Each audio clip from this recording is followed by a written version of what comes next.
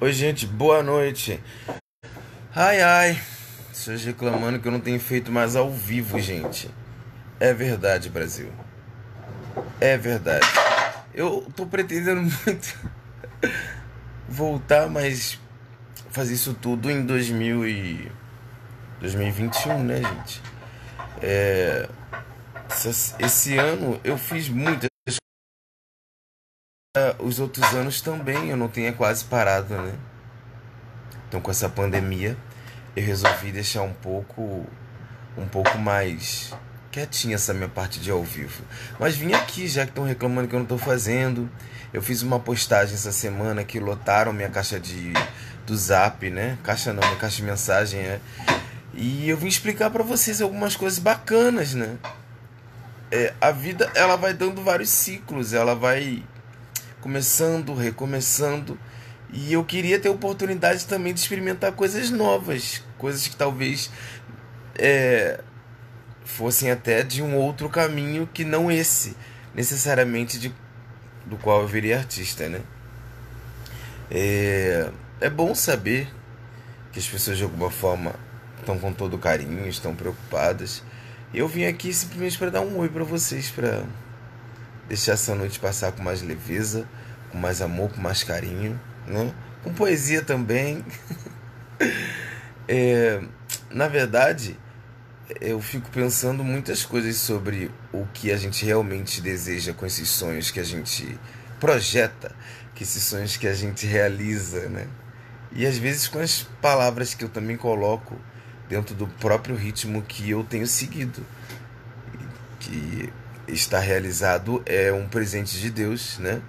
E graças ao apoio da galera que está aí do outro lado, da galera que vê depois, da galera que vem e nos ajuda, porque independente das brincadeiras à parte, eu continuo sendo um artista independente e que o tempo todo tá aí, brincando com essas postagens eternas, massivas, né, Brasil?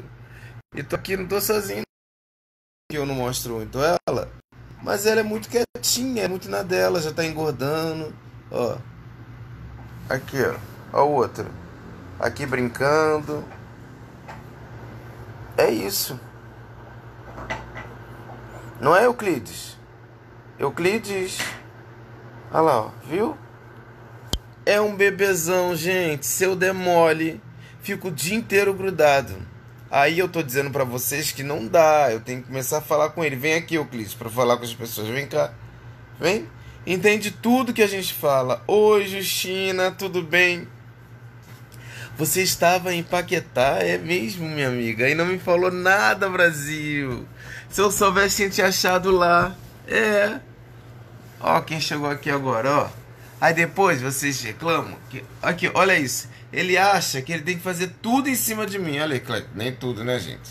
Olha isso. Gigante desse tamanho todo. Olha o tamanho desse bicho. Tá vendo, né? Tá vendo como eu sofro? Olha isso. Olha o tamanho dessa coxa. E ele ainda não tem músculo suficiente. Bom, eu acho, né? Eu acho que ele é magro, não é? Mas é isso, gente. Tô vindo aqui para dizer para vocês que eu continuo é, agradecendo tudo. tudo que Deus tem me dado através da poesia tudo que vocês têm feito, esse carinho todo por essa arte. É, não reclame que tio Bruno esse ano tá menos do ao vivo, né? Eu queria muito voltar com o meu programa, eu tô pensando se eu volto com Tô com Bruno Black é, em novembro. Mas eu queria mesmo é descansar um pouco essas brincadeiras todas, né? Organizando novas coisas para 2021. Vem novos projetos literários também. Ele é grandão, né, gente? muito grande assim. Ele quer ficar assim, ó. Ele acha que ele é o dono da casa, Brasil. Ele não é o dono da casa. Deixa eu ajeitar ele aqui. Euclides, ó, ele pisa em cima de mim. Ó, ele acha. Euclides, pode sair de cima de mim, Euclides, por favor? Você pode sair de cima de mim? Tô te pedindo. Dá licença, sai de cima de mim. Eu estou falando com você, Euclides. Euclides, pode sair de cima de mim? Olha o tamanho desse bicho, gente. Ai! Uma patada dele me mata! Para, Euclides! É isso, Brasil. Tá vendo, né? Tá vendo? Em cima de mim, eu tentando aqui fazer um ao vivo desse. Mas ele não deixa. Tô vindo aqui para agradecer sempre a vocês, galera. Ó, de coração. É. É tão bom a gente poder ser a gente, seja nos momentos mais fortes, nos momentos mais frágeis, nos momentos. É, a gente precisa, né, de repente, tá escutando mais, outros a gente tá falando mais. Eu só quero só agradecer vocês todo o carinho. E eu vim aqui para isso. Meus fãs estão reclamando que eu não estou fazendo ao vivo e realmente estou querendo ficar um pouquinho quietinho nos ao vivos. Eu tenho assistido algumas coisas bacanas, eu tenho tentado entender o que, que vai ser de Bruno Black com essa nova com essa mudança, né? Agora a gente está ainda em pandemia, claro, em muitos lugares com flexibilização. Eu acho que eu tenho tentado só dizer para as pessoas que é muito importante a gente ter consciência do que a gente é, ter a nossa alegria. Tô sentindo muita falta do meu programa, né? Do Lento da Peri. Eu acho que ele é ele é um é um marco na minha história como um comunicador eu de fato nunca imaginei, né? É, eu nunca imaginei ser um comunicador assim. Na verdade, eu nem imaginava ser poeta e as coisas foram acontecendo. Eu tenho tentado refletir muito sobre isso tudo e, de alguma forma, tentando é, olhar de volta para muitas coisas que eu já tinha feito antes, né? Boa noite, meu amigo. Olha, é, todo mundo tá falando muita coisa, sabe, Alexandre, sobre o Xexelento. Eu acho que até agora, embora tenha muitas coisas maravilhosas surgindo, muitos movimentos incríveis, muitos eventos sensacionais, eu ainda não vi nada como o nosso Xexelento da Peri. Isso é muito orgulho, né? Porque é um projeto que dá um pouquinho de trabalho para se realizar, ainda mais porque eu não tenho uma equipe por trás é, infelizmente sou eu, né? Eu que tenho feito as filmagens, eu que faço o roteiro, eu que chamo os artistas, eu que faço fly. E não é que eu não queira ter uma equipe, eu acho que é um sonho ter uma equipe, mas às vezes quando a gente não tem é, uma verba, né, para estar tá investindo nas pessoas, é muito sacrificante você exigir que elas estejam com você até o final de um percurso.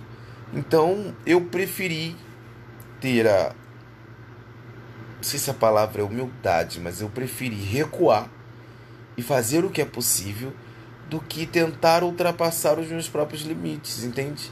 Então o xixelento, ele tem. Ele, ele, o xixelento é um divisor de águas na minha vida. Porque eu aprendi muitas coisas sem saber que eu estava aprendendo. Tudo porque eu precisava suprir uma necessidade. Imagina, a gente começou em 2018 com o xixelento. As pessoas quase não faziam ao vivo, hoje todo mundo faz ao vivo. Vai chegar um momento onde todas as pessoas vão ter uma qualidade incrível de tecnologia, de procedimentos, uma internet que vai estar muito mais apurada. Daqui a pouco a gente está no 10G, uma qualidade tridimensional. E aí a gente vai lembrar dessa história toda e vai voltar para aquilo que é mais essencial, que é o dom das pessoas não é porque você tem todas as ferramentas que você vai ser competente em tudo que você está ali fazendo. Mas tem pessoas que conseguem conciliar isso e outras não. E o fato de eu ser da periferia, isso me ajudou muito, me ensinou muito a, a, a tentar dar o meu melhor, mesmo a gente sabendo que a gente tinha muita coisa para melhorar. Então eu resolvi parar nesse momento de pandemia. O nosso último programa foi dia 9 de março, gente. 9 de março se não me engano foi programa 100 ou 101, não lembro, de uma jornada que eu já vinha há anos fazendo direto. Eu me lembro até hoje, eu postei uma foto minha em Curitiba.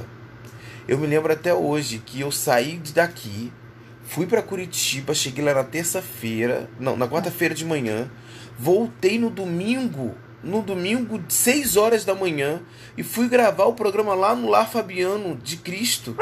Então, assim, era uma rotina muito louca e muito boa, porque eu gosto disso. E. Mas eu fiquei pensando: será que as pessoas tinham noção do sacrifício que era fazer isso tudo? De, de como eu me desprendia desses processos meus, de de repente estar com a minha família, de estar com os meus cachorros, de estar com a minha vida. Aqui, eu tô falando com vocês, tá tudo ao redor. Isaura tá aqui, todo mundo juntinho aqui, ó. O outro ali futucando as coisas embaixo do móvel, implicando. E eu estava ali, me doando, organizando às vezes um programa como o Lar Fabiano de Cristo, que tinham 100 pessoas. Eu tenho pensado muito sobre isso. E quando as pessoas, claro, com todo carinho, reclamam, vai voltar não, faz no Zoom, faz não sei o que, faz não sei o que lá. Eu resolvi ficar aqui quietinho na minha. Tô morrendo de vontade de fazer um ao vivo de novo. Talvez eu tô com o Bruno Black. Mas ao mesmo tempo também eu queria guardar um pouco mais para 2021, porque vocês sabem que o bicho vai pegar. E vai pegar muito, muito. Que graças a Deus mil portas se abriram, vários produtores culturais se atentaram para a importância da internet, várias pessoas entenderam na quarentena a importância desse link ao vivo com as pessoas, e várias outras entenderam o quanto é importante esses eventos culturais na nossa cidade. E quanto pessoas como eu devem, nasceram, ou sobreviveram, ou desenvolveram, ou. Caramba, eu deixei de ser tímido com os saraus do Rio de Janeiro. Então, eu sei lá, eu queria vir hoje para bater um papo muito franco com vocês. É, eu tenho mil questionamentos que eu tenho feito sobre qual o meu papel nessa quarentena, sabe? É, meu papel não é esse diretamente social e eu agradeço na minha comunidade. Tem pessoas como a Rogéria, tem amigos meus que estão aí nessa questão social, né? Que envolve cestas básicas, um atendimento mais de base. O meu sempre foi cultural, sempre foi de dom. E a gente agora tem que se reinventar, tem que se repensar nas estratégias ou naquilo que a gente pode fazer de melhor para o novo ano que está chegando, com novas possibilidades, com os novos sentimentos, com outras demandas. Hoje foi um dia muito difícil. Eu já estava dormindo, eu acordei e acabei de saber de um amigo que nessa quarentena é, se suicidou, sabe? E eu sei que grande parte de um público que está aí por trás dos bastidores, que me assiste, eles são tímidos. 90% da galera que são meus fãs, muitos são tímidos, eles não escrevem, eles só estão vendo. E eu fiquei pensando sobre essas coisas, sabe? Eu fiquei pensando qual é, qual é o meu papel nisso tudo. Depois que esse tempo tá aí, ó, com novas, com novas perspectivas, com novas possibilidades, com novos caminhos, com novas demandas. Né? E aí a gente vem para o meu livro novo que fala sobre saúde mental, que é uma coisa muito séria e hoje eu perdi uma pessoa muito especial, que é o Leozinho, que tirou a própria vida. E eu tento dizer para as pessoas todos os dias mensagens otimistas e talvez até mostrando um pouco da minha história para dizer o quanto eu estou lutando para vencer. Eu lembro de quando eu era eu mostrava os meus feitos para as pessoas e as pessoas achavam que eu não era um jovem da minha comunidade, do Fumacê, em Realengo. Achavam que eu era um menino da Zona Sul, porque eu já tinha meus livros lançados, porque eu parecia ser imbatível. Não, gente. Eu acho que, na verdade, eu, claro, eu, eu sei que eu tenho uma autoestima muito forte. Eu sei o quanto eu, de fato, sou forte na luta pelos meus sonhos. Mas eu também sou um cara normal, eu também tenho as minhas fragilidades. E eu tô vindo hoje aqui pela primeira vez falar sobre isso, porque as pessoas com todo o coração estão querendo que eu volte para os ao vivos, querendo que eu faça isso tudo, e eu acho incrível isso tudo. Fiz muitos sem parar, mas eu queria nesse momento estar tá repensando toa também repensando sobre esse tempo que eu tenho com as pessoas e que é muito maravilhoso, sobre o que, que vai ser a minha nova demanda em 2021 o que que vai ser desse Bruno Black, o que que vai ser da minha história com as pessoas.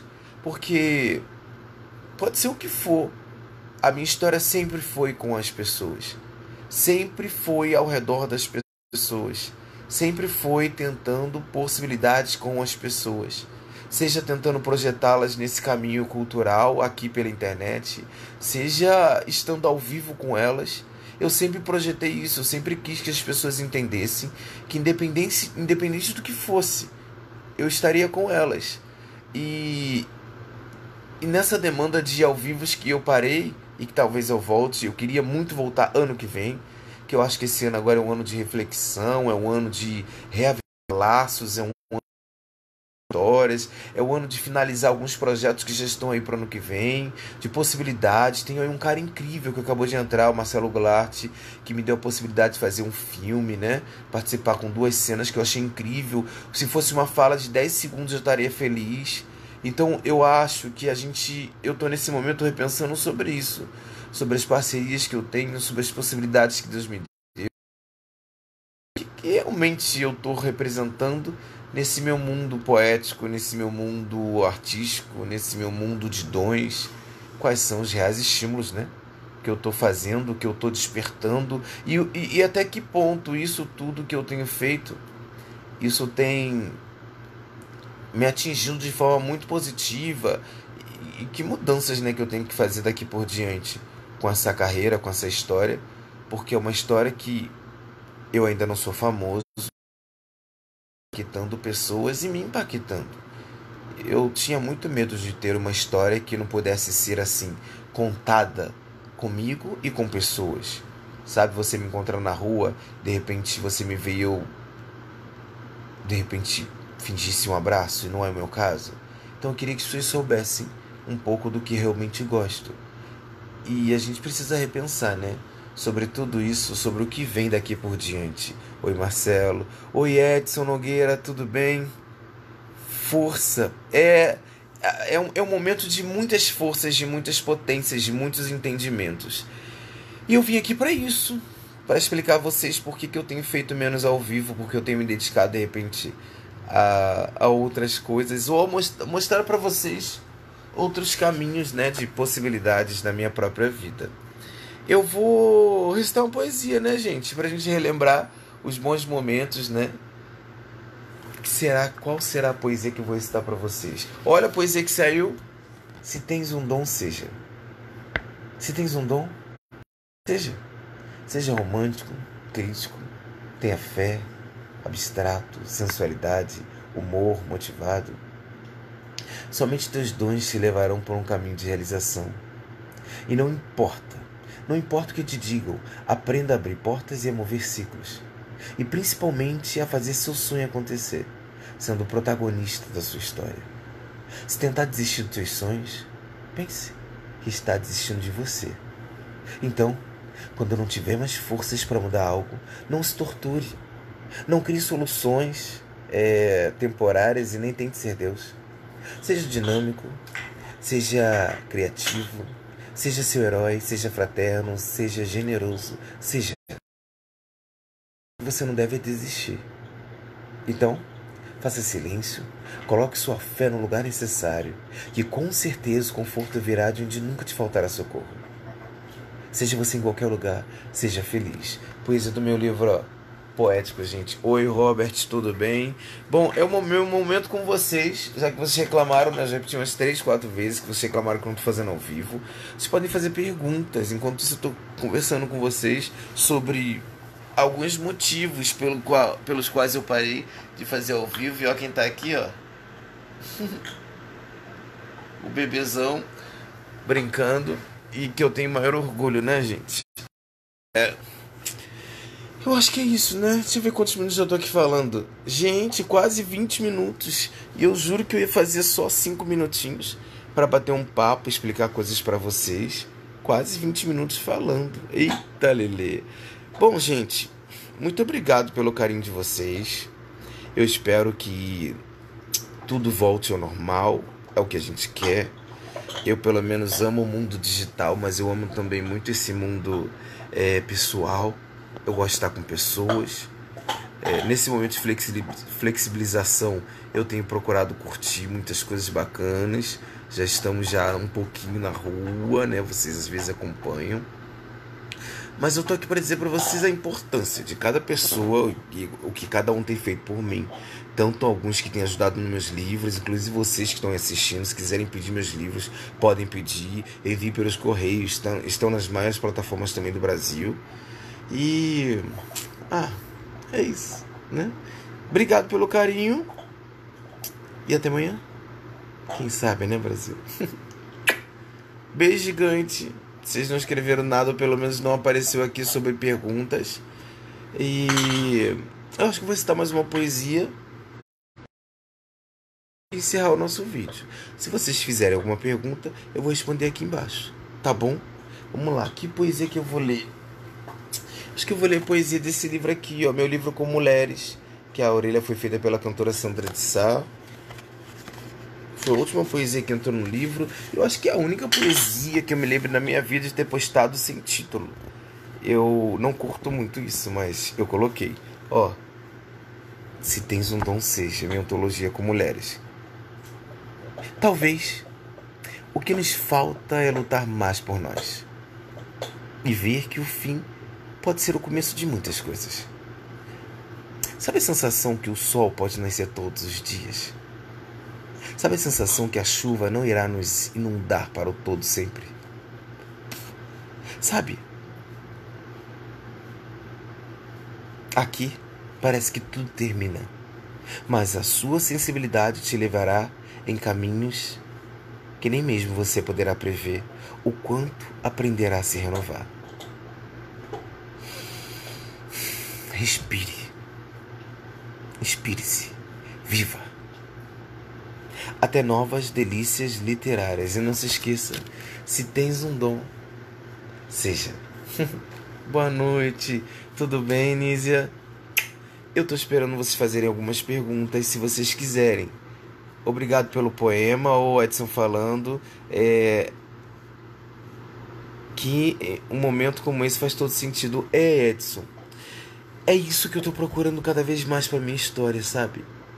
Os sentidos que que eu preciso na minha vida. Se vocês observarem a minha para as demandas que eu tenho percebido na vida, que eu tenho recebido também. E eu tenho feito questão de mesmo, sei lá, talvez ficando ultrapassado para trás, que eu continue sendo fiel a esse processo. Eu eu tô sentindo muita falta dos eventos na rua com a galera fazendo arte. Tudo bem? Como é que você tá, meu? Tudo bem, Edson? Bem, graças a Deus. Como que você, como que você está nessa quarentena, cara? É, tentando ficar o máximo dentro de casa, mas é quase impossível, né? De vez em quando a gente tem que sair, né? Agora que tá voltando assim devagarzinho os eventos. E tem que trabalhar, né? Com cuidado, é mas tem que. Sim, é. A gente não tem muita saída. A gente tem que voltar ao batente, tem que começar a fazer tudo isso. Mas a gente tem que também é, cuidar da nossa alma, né, cara? Senão, Verdade. volta. Como é que a gente recomeça a nossa história? É verdade. Se ficar muito tempo parado também fica até difícil um recomeço, né? Tem que Sim, buscar força, tem que ter cuidado sempre, né? Agora então, não sei quando que isso vai acabar, mas verdade. buscar força e continuar, né? Pode parar, não. Esses dias aí, rapaz, você, você recitou esse poema do seu livro, que é maravilhoso. É, para mim foi muito forte agora, porque tava pensando em parar de tocar, rapaz. Eu falei, caraca, Ai, tá dando mais não, Aí você falou, pô, desistir do teu sonho é desistir de você. Então, não vou desistir de mim, né? Não quero fazer isso. Eu, é... Edson, o que você está falando é, é muito foi. importante. Porque a gente, se a gente é artista, a gente gosta da troca.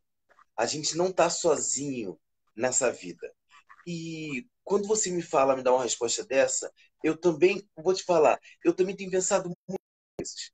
Porque a gente não vive de capa de jornal, a gente não vive porque está na grande mídia, a gente vive porque a gente está impactando pessoas diretamente.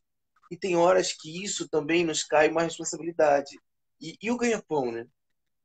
E quando é que esse dinheiro é vai. A gente não, não sei como que é o seu caso, mas eu fico pensando assim: hoje eu saio, se eu gasto 20 reais, eu tenho que depois saber como que eu vou vender um livro para repor esses 20 reais porque não é. tem uma renda fixa que às vezes entre, a não ser que a gente tenha uma outra profissão, mas a gente está falando de artistas que vivem da arte, né? Só da arte.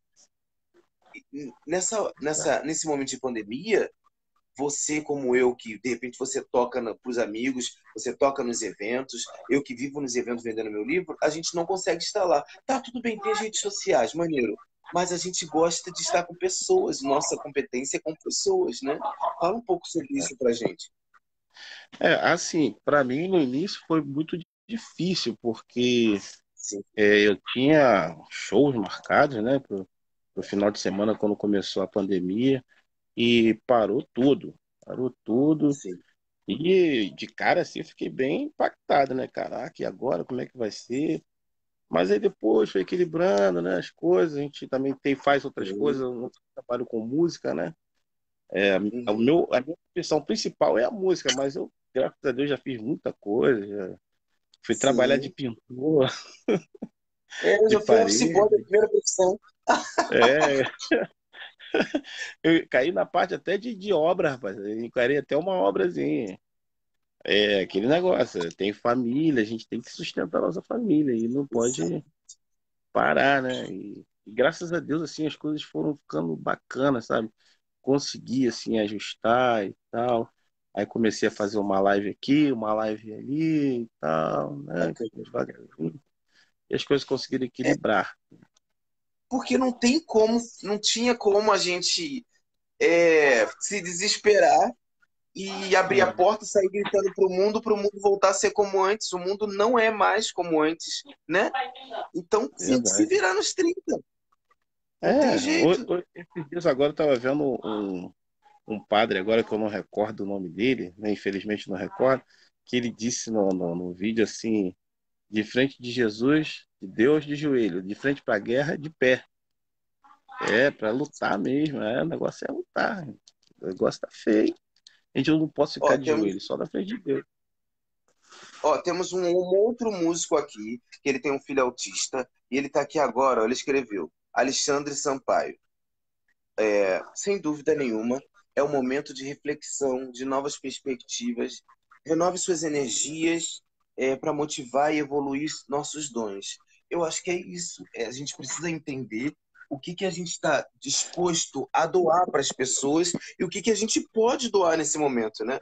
Porque não adianta você fazer uma coisa, ficar no desespero, fazer mil coisas para querer estar tá em evidência em alguma coisa e você não está bem com você mesmo, não é? Isso é verdade, isso é verdade. Isso é verdade. É, assim, a, a coisa mais importante hoje é você conseguir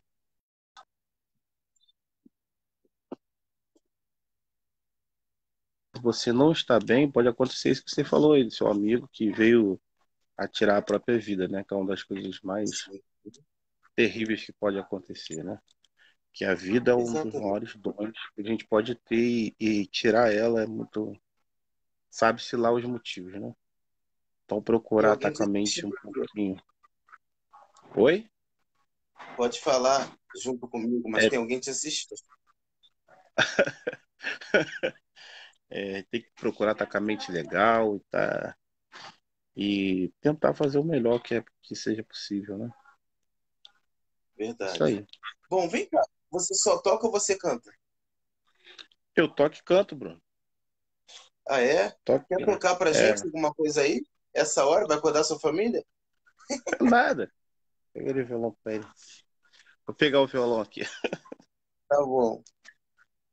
Olha quem tá aqui assistindo tudo, gente. Enquanto o Edson tá pegando o violão, olha quem tá aqui, ó, de olho.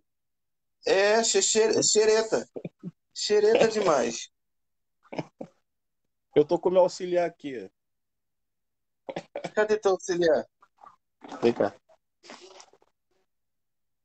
Oi, pequeno, tudo bem? Fala, oi, tudo bom? Fala, oi. Tudo bom? Ó, sucesso. Estuda para você ser alguém ah, na vida, hein, rapaz? Fala pra ele, ah, obrigado. Obrigado, tio. De nada. Vou tocar uma música aqui. Oh. Essa música, Bruno, eu vou tocar aqui. Vou fazer essa uma regravaçãozinha que eu fiz aí. Das últimas músicas que eu gravei. Gosto muito dessa música. Tá saindo legal o som aí? Tá, Bruno? Tá. O som tá chegando tá? Agora tá, tava um pouco abafado, mas não tô. Melhorou? Essa música é uma música que a Maria Bethânia gravou, rapaz, que eu tive a honra de regravar recentemente, com um arranjo novo. Eu e de Leandro Oliveira, tecladista.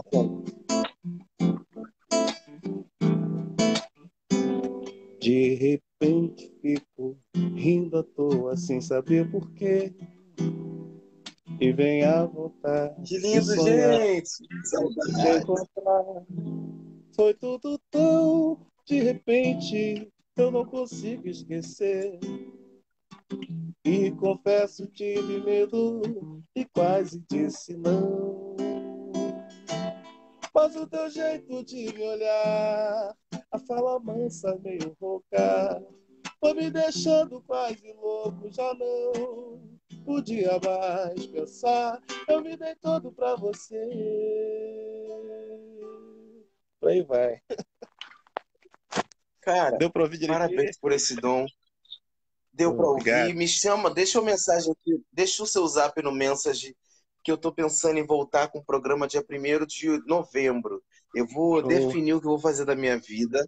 E aí eu quero voltar, eu quero te convidar para você estar com a gente. É muito importante. Cara, ó, vou te falar uma coisa de todo o coração. Isso é que me renova. Poxa, que É isso. bacana, que bacana. É ver Bacana. pessoas vivas, com dom vivo, que estão fazendo porque amam o que fazem. Verdade. Isso é que me renova. Muito obrigado, tá? Pô, um abração, Bruno. Força aí, meu amigo. Obrigado. Tudo Vamos junto. Tamo juntos, obrigado. Ó, gente, é isso. Foi só uma, uma vontade de vir aqui para conversar com vocês. Ó, já estão dormindo já no meu colo. A outra já tá ali também. Obrigado por tudo. Que Deus abençoe vocês. Alexandre, um beijo no seu coração. Gente, se tens um dom, seja. Não esqueçam disso, tá?